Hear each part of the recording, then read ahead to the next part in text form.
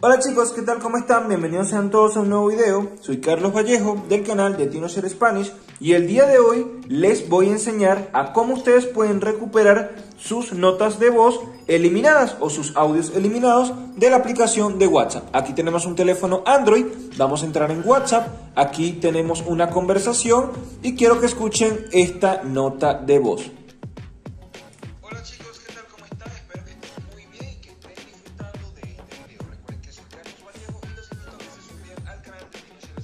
Esta, nota es la que vamos a eliminar, pero antes de ello voy a salirme de WhatsApp, nos vamos hasta lo que viene siendo el administrador de archivos, porque acá me gustaría mostrarles lo que viene siendo el audio como tal, ya que el audio se almacena en nuestro teléfono, en la carpeta de WhatsApp y en la carpeta, en este caso que dice eh, notas de voz, justo aquí abajo.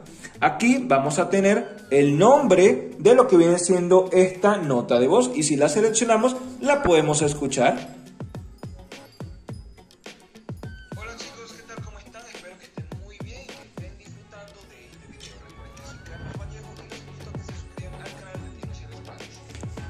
Ok, como se pueden dar cuenta tenemos la nota de voz con este nombre y bueno, vamos a eliminarla. ¿Cómo lo hacemos? Bueno, nos vamos hasta WhatsApp, nos vamos hasta la conversación y vamos a eliminarla.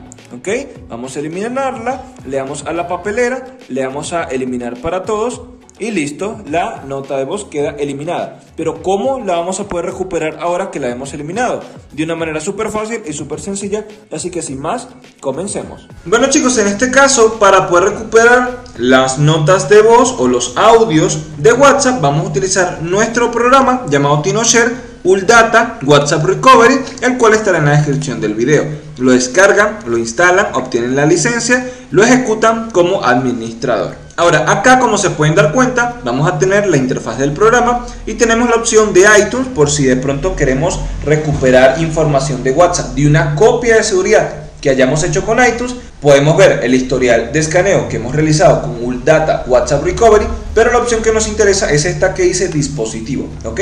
Aquí tenemos que seleccionar si la información de WhatsApp la tuvimos en un dispositivo iPhone, iOS o en un dispositivo de Android. Y muy importante que para que nos aparezca esta pantalla es necesario tener activa la depuración USB, que eso eh, lo hacemos, ¿ok? En la configuración. Esa opción, esa función la activamos dentro de la configuración en el apartado de información del dispositivo y la capa de personalización.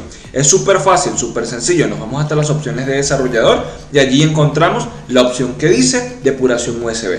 Esa opción tiene que estar activada para que nos pueda mostrar esta pantalla y ya luego le damos clic al botón que dice iniciar. Aquí como se pueden dar cuenta eh, nos aparece esta información donde nos indica de que bueno tenemos que iniciar sesión en nuestra cuenta de WhatsApp y ya sería cuestión de darle clic en aceptar y ya en nuestro teléfono tenemos que tener ejecutada la aplicación de WhatsApp. Le damos clic en aceptar y va a escanear el dispositivo. Ahora aquí nos va a pedir que hagamos una copia de seguridad, eso lo hacemos también muy sencillo, entramos en lo que viene siendo la aplicación de WhatsApp, nos vamos hasta los puntos suspensivos, nos vamos hasta ajustes, nos vamos hasta la sección de chats, aquí más abajo nos vamos hasta copias de seguridad.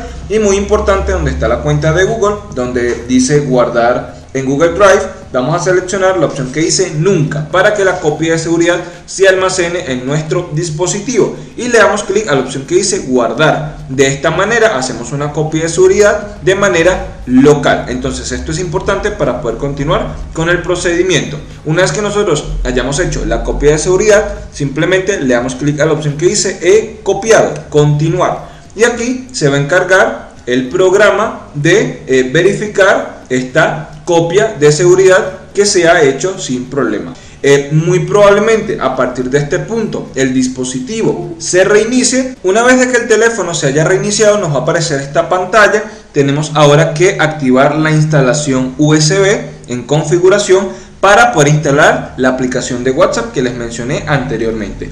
Es muy sencillo, simplemente nos vamos hasta la configuración, acá nos vamos hasta eh, las opciones eh, adicionales, los ajustes adicionales y aquí vamos a entrar en las opciones de desarrollador. ¿ok?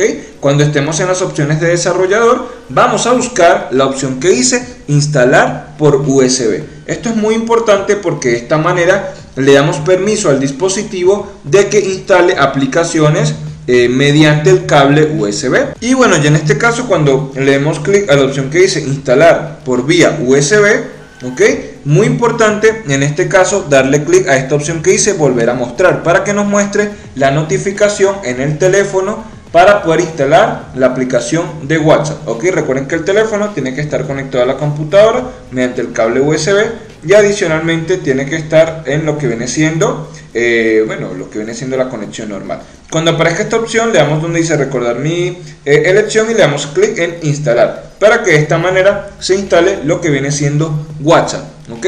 Apenas se instale la aplicación de WhatsApp, lo que viene siendo Data WhatsApp Recovery va a detectar la instalación entonces simplemente esperamos a que dicha instalación finalice. De hecho nosotros acá podemos verificar de que efectivamente se instala un WhatsApp y ya sería cuestión de que cuando nos aparezca esta pantalla darle donde dice eh, copia de seguridad de mis datos. Le damos clic allí para que en este caso haga la copia de seguridad y bueno, ya esperar a que el proceso finalice. Y bueno, ya luego de hacer todo esto, como se pueden dar cuenta, ya va a reinstalar lo que viene siendo el WhatsApp original en nuestro teléfono pero ya ha recopilado la información necesaria. Entonces, vuelvo y repito, aquí esperamos a que el proceso finalice, que puede tardar un par de minutos según eh, la computadora y el procesador que ustedes manejen. Una vez que la búsqueda haya finalizado, aquí en el lado izquierdo vamos a tener lo que viene siendo los elementos del dispositivo y nos vamos hasta la opción que dice notas de voz. Aquí en notas de voz vamos a poder encontrar la nota de voz que en este caso hemos logrado recuperar. Entonces acá le damos clic a la opción que dice recuperar. Vamos a seleccionar una ruta como el escritorio, le damos clic en aceptar y listo. Y aquí le damos clic en aceptar. Ya podemos cerrar el programa. Le damos en confirmar y ya acá nos va a, en este caso, mostrar la carpeta nos va a colocar la fecha en la que hicimos el proceso y los elementos que logramos recuperar. ¿ok? Y bueno, aquí debe aparecer la nota de voz. Lo que sí es importante es que en este caso eh, debemos de tener un reproductor compatible para poder reproducir esta nota de voz. Pero de esta manera vamos a poder recuperar las notas de voz de una manera súper fácil y súper sencilla. Así que, pues nada, yo espero que les haya gustado y recuerden que de ser así, apoyarnos con un like, un me gusta. Recuerden que soy Carlos Vallejo del canal de Teenager Spanish y los invito a que se suscriban a nuestro canal y nos apoyen con un like. Muchas gracias y hasta pronto. Bye bye.